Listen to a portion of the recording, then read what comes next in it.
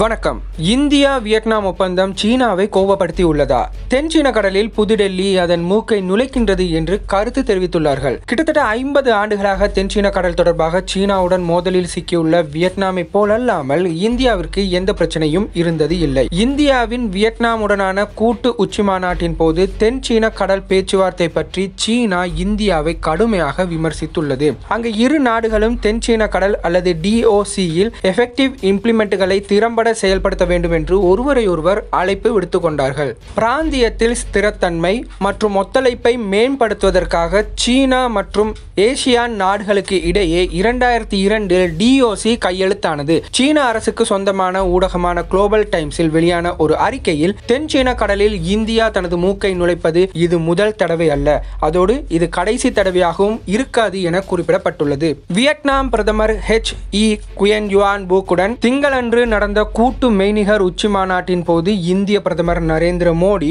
இந்தோ Pacific பிராந்தியத்தில் அமைதி ஸ்திரத்தன்மை மற்றும் செழிப்பு ஆகியவற்றை வலியுறுத்தினார். ஒப்பந்தங்களில் கையெழுத்திடுவதை தவிர இரு தரப்பினரும் ராணுவ ஒத்துழைப்பை தீவிரப்படுத்துவது தொடர்பாகவும் கலந்துரையாடினார்கள். கிட்டத்தட்ட ஐம்பது ஆண்டுகளாக தென்சீன கடல் தொடர்பாக சீனாவுடன் மோதலில் சிக்கியுள்ள வியட்நாமை போலன்றி இந்தியாவுக்கு இதுவரை எந்த பிரச்சனையும் இருந்தது இல்லை. இருப்பினும் புதுடெல்லிக்கு தென்சீன கடலில் இன்னும் ஒரு பங்கு உள்ளது. இது இந்தியாவிற்கு ஒரு முக்கியமான வணிக பாதையாகும் தென் கொரியா ஜப்பான் சீனா மற்றும் ரஷ்யாவுடனான அதன் வர்த்தகம் அனைத்தும் இந்த கடலை கடந்தே செல்கின்றது.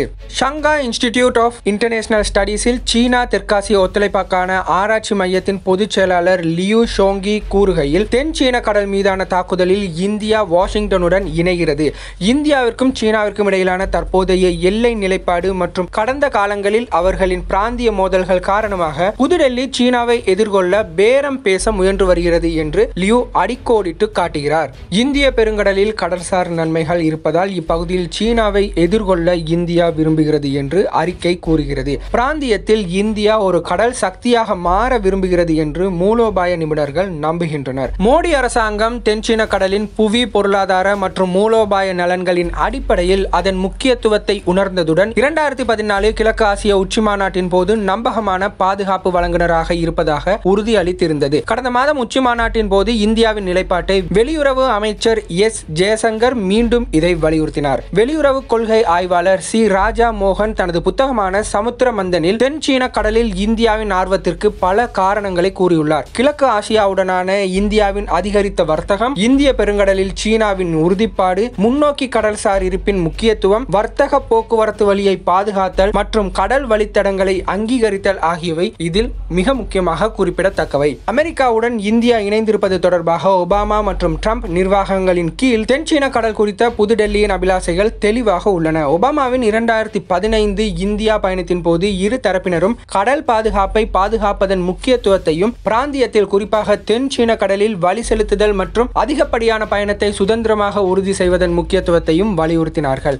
இந்த ஆண்டு தொடக்கத்தில் அமெரிக்க அதிபர் டொனால்ட் ட்ரம்பின் இந்திய பயணத்தின் போது கூட அமெரிக்க நிர்வாகத்தின் மூத்த அதிகாரி ஒருவர் இந்தியா எங்கள் இந்தோ பசிபிக் மூலோபாய திட்டத்தின் தூணாகும். மேலும் சுதந்திரமான மற்றும் திறந்த சர்வதேசத்தின் இந்த பார்வையை ஊக்குவிக்க நாங்கள் தொடர்ந்து ஒன்றிணைந்து செயல்படுவோம் என்று குறிப்பிட்டிருந்தார். எல்லை முறுகளில் தொடர்ச்சியாக ஈடுபட்டு கொண்டிருக்கும் இந்தியாவும் சீனாவும் பல முன்னெடுப்புகளை செயல்படுத்தி கொண்டு வரும் பொழுது இந்தியாவின் இந்த நடவடிக்கை சீனாவிற்கு எந்தளவு தூரத்திற்கு பாதகமாக இருக்கும் என்று பொறுத்திருந்துதான் பார்க்க வேண்டும். நன்றி. இந்த வீடியோ உங்களுக்கு பிடிச்சிருந்தா லைக் பண்ணுங்க. சமூகம் டிவி நியூஸ் யூடியூப் சேனலை சப்ஸ்கிரைப் பண்ணுங்க. மறக்காம பெல் ஐகானையும் தட்டி விட்டுருங்க. உங்கள் நண்பர்களுக்கும் இந்த வீடியோவை ஷேர் பண்ணுங்க. செய்திகளை முந்திக்கொண்டு உடனுக்குடன் உண்மை தன்மையுடன் தெரிந்து கொள்ள தொடர்ந்தும் சமூகம் டிவி நியூஸோடு இணைந்திருங்கள்.